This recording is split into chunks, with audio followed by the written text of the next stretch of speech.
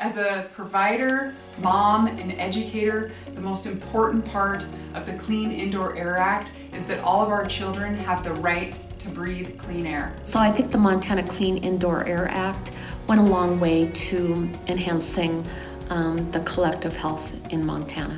People no longer light up in, in the presence of other people that don't smoke. They're more sensitive about the health needs of other people. For younger people and, and for um, people that might have asthma or other effects, I think that, that they um, have definitely benefited from going into businesses that don't have any smoking. I mean, schools are always trying to strive to make it relevant for kids, make it practical, where it's not just inside the classroom, it's outside.